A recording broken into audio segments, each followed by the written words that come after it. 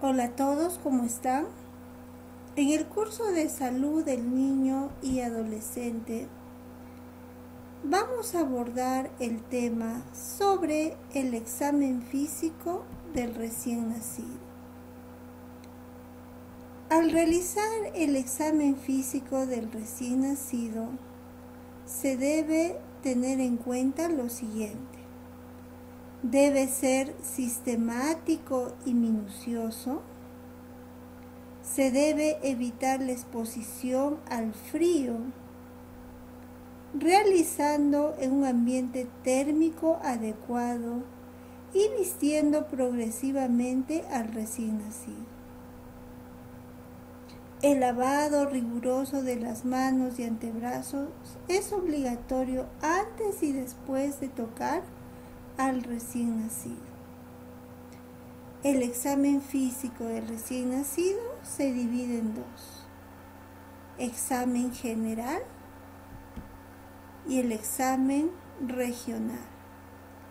El examen general se inicia con la inspección, es decir, con la observación. Observamos la piel, la cabeza, la cara, el tórax, el punto medio, el abdomen y las extremidades. Asimismo, en el examen físico del recién nacido, también se evalúa el peso, la talla, los perímetros, perímetro cefálico, perímetro torácico, abdominal, perímetro braquial, la longitud del pie. En el examen físico del recién nacido, el examen físico regional, antes de empezar por la cabeza, vamos a observar la piel, el tejido celular subcutáneo y las En la piel vamos a observar el color. La epidermis del recién nacido a término es muy delgada, por la cual la sangre capilar le da su color sonrosado característico. Es decir, el color sonrosado del recién nacido es característico después del nacimiento. También se puede presentar un cuadro denominado la acrocianosis, que es la cianosis periférica en los pies, manos y área peribucal. Es un signo común en los recién nacidos normal dentro de las primeras 48 horas, luego de las cuales puede constituir un signo inespecífico de enfermedad. Esto quiere decir que es considerado como algo fisiológico. Es una pequeña coloración de, de la piel de color azulado en ciertas zonas del cuerpo del recién nacido, como es en los pies, en las manos y en el área peribucal. La cianosis central o persistente también se puede presentar en el recién nacido, pero es considerada como una alteración que requiere investigación inmediata. La cianosis persistente sugiere alteración del sistema nervioso central. Si la cianosis se atenúa con el llanto, sobre todo si el recién nacido está en una atmósfera rica en oxígeno, sugiere neumopatía, especialmente atelectasia. Si la cianosis que se acentúa con el llanto sugiere cardiopatía. Entonces es muy importante en el recién nacido observar la coloración de la piel. También en algunos recién nacidos podemos observar la palidez en la piel. Si es una palidez generalizada, nos puede indicar anemia o shock y puede asociarse con shock hipovolémico, con enfriamiento, es decir, con hipotermia. También podemos observar el pletorismo o la plétora que suele asociarse a hipertermia, hiperoxemia, hipervolemia. Y esto en algunos casos se da por la demora en el pinzado del cordón umbilical. También tenemos que observar si el recién nacido presenta ictericia. La ictericia es la coloración amarillenta del recién nacido debido al incremento de un pigmento llamado la bilirrubina. Si este pigmento se incrementa de manera muy alta, puede causar alteraciones a nivel del cerebro del recién nacido. Pues se dice que cuando la ictericia aparece antes de las 24 horas de nacido, debe considerarse patológica. Y si se presenta después de las 24 horas, se considera fisiológica. Si es patológica, al recién nacido lo colocarán en fototerapia. Y si es fisiológica, generalmente el pediatra indica baños de sol al recién nacido, es decir, al recién nacido se le expone al sol para que desaparezca esta coloración amarillenta. En la piel también se puede observar edema y es importante establecer si ese edema es fisiológico o es patológico. Usualmente existe un edema moderado, localizado en la cara, a nivel de los ojos y en el dorso de las manos y miembros inferiores. Y eso desaparece a las 24 o 48 horas. Entonces es muy importante observar la piel del recién nacido porque nos puede indicar algunas patologías y si es así, inmediatamente tenemos que referir al especialista, en este caso al neonatólogo o al pediatra.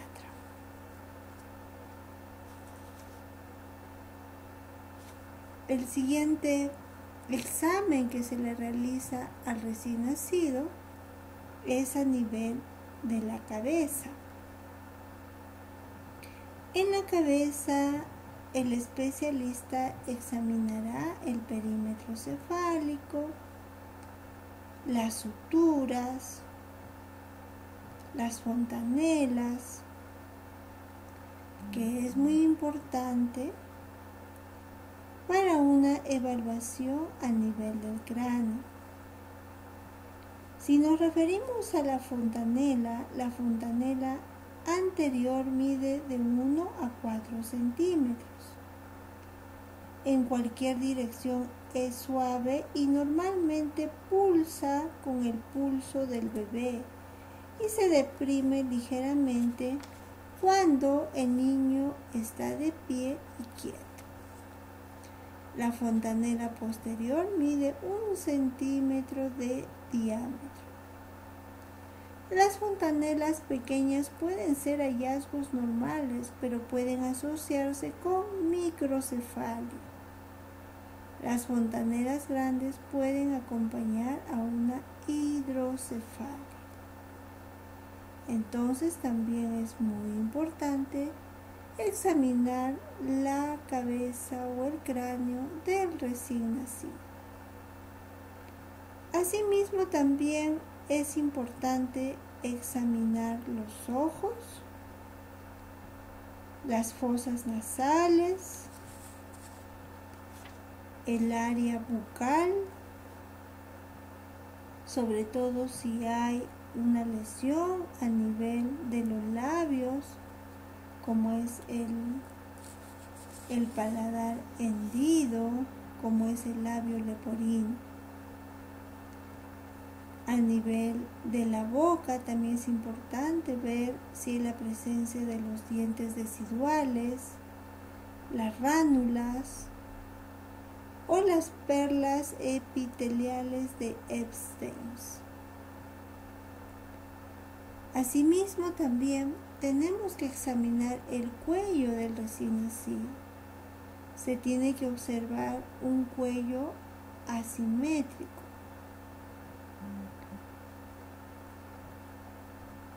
Se debe observar la posición, forma, la simetría, el rango de la movilidad y el tono muscular.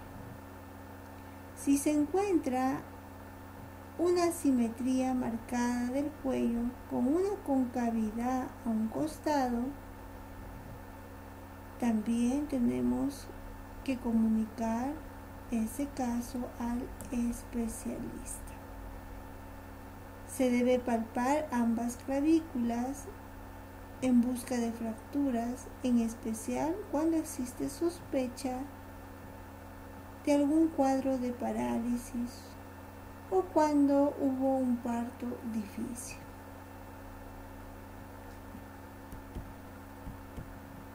Asimismo también se debe observar y se debe realizar la palpación, la exploración del tórax. Inspeccionar la forma del tórax en el recién nacido a término debe ser cilíndrico y ligeramente ensanchado en la base. Se debe examinar la presencia de deformaciones y asimetrías. La tumefacción de las mamas es normal y no tiene significado clínico a menos que también exista eritema. Es común la presencia de secreción láctea por las mamas del recién nacido, que se le denomina la leche de brujas. Y este hallazgo va a desaparecer. Y esto constituye o obedece a un efecto hormonal materno sobre las mamas del recién nacido. Es importante también evaluar el examen del aparato cardiorrespiratorio, verificar la frecuencia respiratoria que normalmente oscila entre 40 a 60 respiraciones por minuto, revisar los pulmones, revisar el corazón, el sistema vascular, la frecuencia cardíaca normal que oscila entre 120 a 160 latidos por minuto. Es importante también realizar el examen del abdomen del recién nacido. Empezamos con la inspección, con la palpación. En el caso de la inspección, el abdomen aparecerá levemente escafoide al nacer, pero se volverá protuberante a medida que el intestino se llena con aire. En la palpación se debe comenzar con la palpación superficial desde las partes inferiores a las superiores para revelar el borde de un hígado del vaso que probablemente pueda estar agrandado y se debe comprobar ello. Se debe también revisar el muñón umbilical y hacer la asepsia respectiva de la unión umbilical con alcohol puro y gasa. También se debe examinar los genitales. Si es niña, los genitales femeninos y si es niño, los genitales masculinos. La coloración y tamaño va a variar en los genitales masculinos. Hay que revisar los testículos, en que deben estar en el escroto o en el conducto inguinal. A veces se observa un hidrocele discreto a nivel de los testículos, que puede ser unilateral o derecho. El pene aproximadamente en el recién nacido mide de 3 a 4 centímetros y vamos a observar probablemente fimosis. El meato urinario se encuentra en la punta del glande. En los genitales femeninos debemos observar la vulva, que se va a encontrar entreabierta en cuanto a los labios mayores. El meato uretral, que se va a encontrar por debajo del clítoris. Y el clítoris va a medir un centímetro de longitud el orificio vaginal cubierto por el himen. Podemos observar también una pseudo menstruación o flujo blanquecino por influencia de las hormonas maternas. Esto es importante indicar a la paciente porque muchas veces las pacientes al cambiarles el pañal se asustan y piensan que algo ha pasado con su bebé o que probablemente alguien le ha querido violar a su bebé, en el sentido que la recién nacida va a presentar una secreción sanguinolenta, blanquecina o un flujo blanquecino. Entonces, esto es un episodio fisiológico producto de las hormonas maternas. Entonces acá tenemos los genitales, ¿no? Genitales femeninos y los genitales masculinos.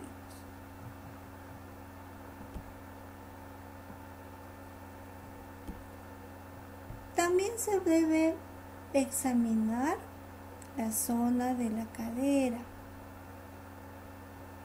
y para ello empleamos dos maniobras, la maniobra de Ortolani y la maniobra de Barlot.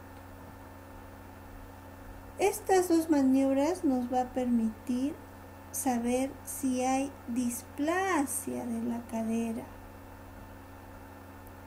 En el caso de la maniobra de Ortolani, se flexiona completamente ambas rodillas y se pone las caderas en ángulo recto, en posición de rana.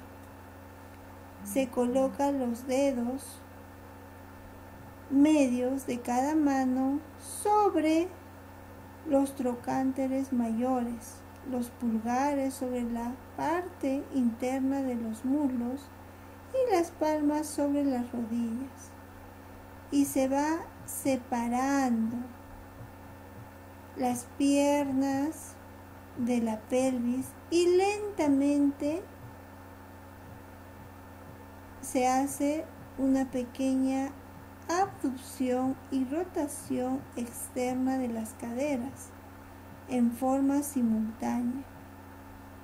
Presiona hacia adelante y hacia el centro con los dedos medios.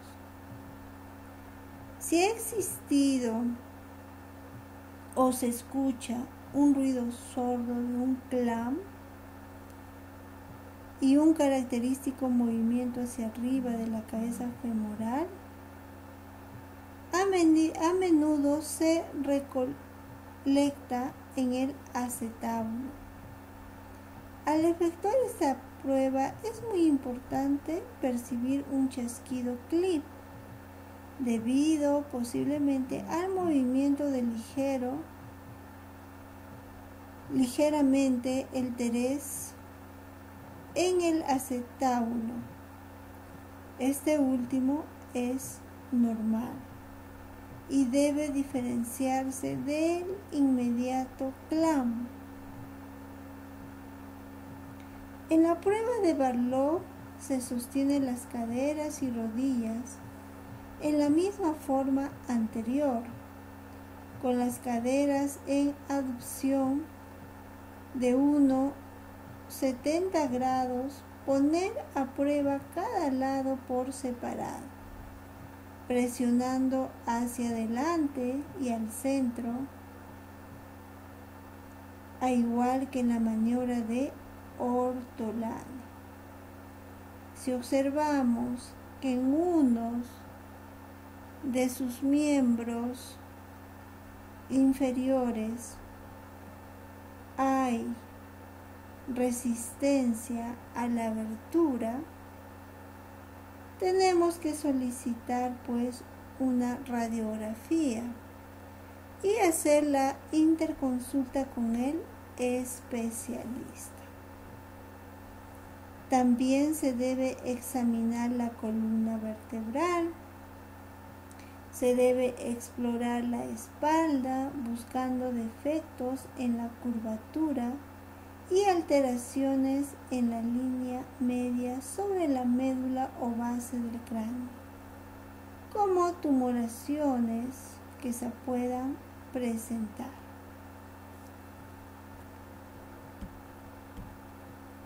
Ahí vemos las dos maniobras, la maniobra de Ortolani y la maniobra de Barlow.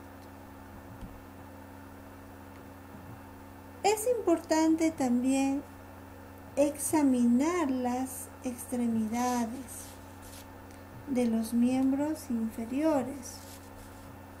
¿No? Tenemos que examinar la pierna, el muslo, los pies. Verificar si presenta cinco dedos. Si no hay ninguna alteración a nivel de los falanges. También se debe observar los reflejos el reflejo tónico del cuello, el reflejo de presión, el reflejo de la marcha y el reflejo del gateo. También se tiene que hacer la evaluación de la edad gestacional. Si la edad gestacional coincide con el examen que el especialista o el profesional de la salud va a realizar con el recién nacido. Si la edad gestacional corresponde al examen físico que le está haciendo el especialista o el profesional de la salud. ¿Cómo se realiza esto? Examinando y observando la forma de la oreja, el tamaño de la glándula mamaria, la formación del pezón, la textura de la piel y los pliegues plantares. Para esto se le va a dar un puntaje, como pueden ver ustedes en la diapositiva. Dependiendo de lo que presente el recién nacido, se le va dando su puntaje. Y a esto, a este puntaje, se le suma más 204 y se le divide entre 7. De esta manera obtenemos la edad gestacional del recién nacido.